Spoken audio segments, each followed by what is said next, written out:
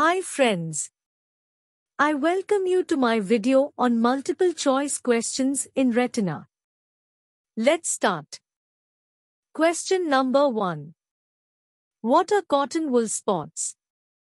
The options are A. Swollen axons caused by ischemia. Option B. Protein deposits. Option C. Retinal edema. Option D. Microaneurysms. The correct answer is option A. Cotton wool spots represents damage to the nerve fiber caused by microinfarctions. Question number 2. In retinal detachment, the fluid accumulates between Option A outer plexiform layer and outer nuclear layer. Option B the inner nuclear layer and outer plexiform layer. Option C the ganglion cell layer and inner plexiform layer. Option D the RPE and the photoreceptor layer. The correct answer is option D. The retinal pigment epithelium and photoreceptor layer. Adhesion of these layers is maintained by a variety of mechanisms. Due to various causes, there can be collection of subretinal fluid. They are classified as rhegmatogenous retinal detachment, tractional and exudative retinal detachments. Question 3. According to the ETDRS, which one of the following is considered as clinically significant diabetic macular edema? Options are A. Hard exudates within 500 microns of the fovea. Option B. Retinal thickening greater than 1 disc area in size and within 1 disc diameter of the center of the fovea. Option C. Diffuse leakage on fluorescein angiography. Option D. A circinate ring of exudates located two disc areas from the fovea. The correct answer is option B. Retinal thickening greater than 1 disc area in size and within one disc diameter of the center of the fovea. Question 4. The temporal retina is vascularized at 36 weeks of gestation, approximately 4 weeks before the nasal retina. Is the statement true or false?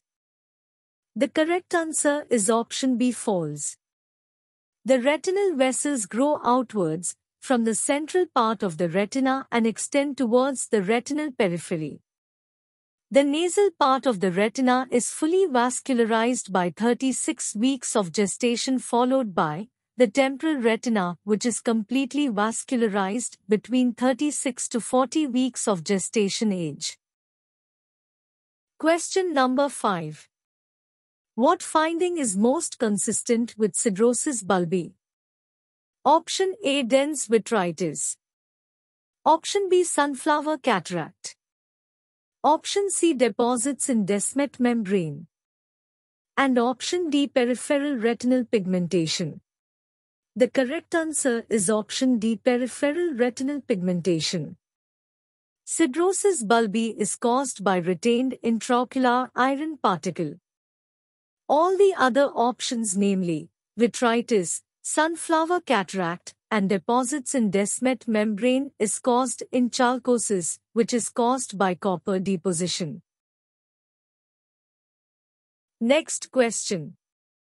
Bullseye maculopathy is seen in which of the following condition? Option A. Tay Sachs disease. Option B. Cystinosis. Option C. Fabry disease.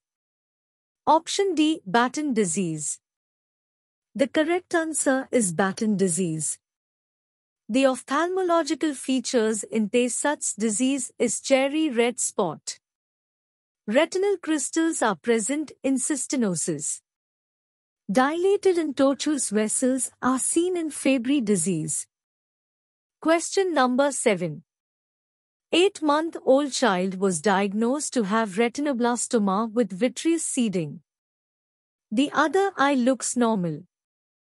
What is the management? Option A. Exenteration. Option B. Enucleation. Option C. Irradiation. Option D. Retinal surgery. The correct answer is option B. Enucleation. Enucleation is done to prevent the spread of tumor cells to other parts of body. Question 8. A vision-threatening delayed complication of central retinal vein occlusion is Option A. Macular degeneration. Option B. Retinal detachment. Option C. Retinal neovascularization. Option D. Neovascular glaucoma. The correct answer is Option D. Neovascular glaucoma. Ischemic CRVO leads to neovascular glaucoma and usually presents after three months of initial ischemic event and often called 90-day glaucoma. Question 9. True autofluorescence is a feature of Option A. Optic disc drusen. Option B. Cotton wool spots. Option C. Hard exudates. Option D. Myelinated nerve fiber layer. Correct answer is optic disc drusen. Autofluorescence is defined as the emission of fluorescent light from ocular structures in the absence of sodium fluorescein.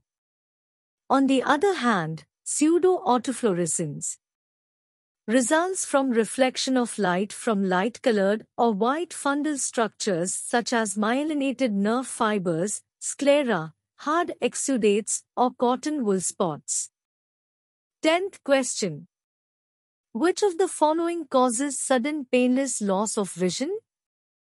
Options are A. Central retinal artery occlusion B. Age-related macular degeneration C. Cataract. D. Angle closure glaucoma. The correct answer is Option A. Central retinal artery occlusion. In cystoid macular edema, fluid accumulates in which of the following layer of retina? Option A. Outer nuclear layer. Option B. Outer plexiform layer. Option C. Ganglion cell layer. Option D, nerve fiber layer. Correct answer is option B. Outer plexiform layer. In cystoid macular edema, collection of fluid is in outer plexiform layer and inner nuclear layer centered around foveola. Next question. Retina is thinnest at. Options are A. Fovea B. Foveola C. Macula. D. Ora serrata. Correct answer is option D. Ora serrata. Next question. What is average arm to retina circulation time? Options are Option A 5 to 9 seconds. Option B 10 to 15 seconds. Option C 5 to 8 minutes. Option D 10 to 15 minutes. The correct answer is Option B 10 to 15 seconds. The dye takes 10 to 15 seconds to reach the retina after being injected into the arm. It first enters the posterior ciliary arteries, and thus choroidal filling is seen first. It is seen in choroidal phase in FFA. 14th question. Which of the following is the definitive host for typical ocular toxocara? Options A. Dog B. Cat C. Human D. Rat Correct answer is option A. Dog. Toxocara canis species is the most common cause of toxocariasis. It is a natural parasite of dogs. Next question. What is the most common ocular clinical sign in AIDS patients? Options A. Macular edema. Option B. Retinal hemorrhage. Option C. Cotton wool spots. Option D. Kaposi sarcoma. The correct answer is option C. Cotton wool spots. Next question. What is non-invasive diagnostic test is most specific for detecting RP cell death? Options are AFFA, B. Fundus photography, COCT angiography, D. Fundus autofluorescence. The correct answer is fundus autofluorescence. Autofluorescence from fundus is due to lipofuscin in RPE. If RPE cell dies due to loss of lipofuscin, there is loss of autofluorescence and appears dark. In central retinal artery occlusion, the cherry red spot is due to Options are Option A macular hemorrhage Option B increased choroidal perfusion Option C increased retinal perfusion. Option D the contrast between pale retina and choroid. The correct answer is option D. The contrast between pale retina and choroid. In the fovea, the underlying choroid with intact RPE is visible and appears as a cherry red spot when compared to the cloudy, edematous retina due to lack of arterial perfusion. Next question. The number of layers in neurosensory retina? Options are A8, Option B9, Option C10, Option D11. The correct answer is option B9. The most common cause of flashes and floaters is Options are A. Retinal detachment B. Posterior vitreous detachment. C. Pars planitis. D. Optic neuritis. The correct answer is option B. Posterior vitreous detachment. Last question. Which of the following statements regarding exudative age-related macular degeneration is true? Options are A occurs in diabetic retinopathy. B. Characterized by cotton wool spots. C. Treated with intravitreal anti-VEGF injection. Option D. Gradual decline in visual acuity. The correct answer is option C. It is treated with anti-VEGF injection. Hope you liked the video. For more optometry related content, subscribe to my channel. Thank you.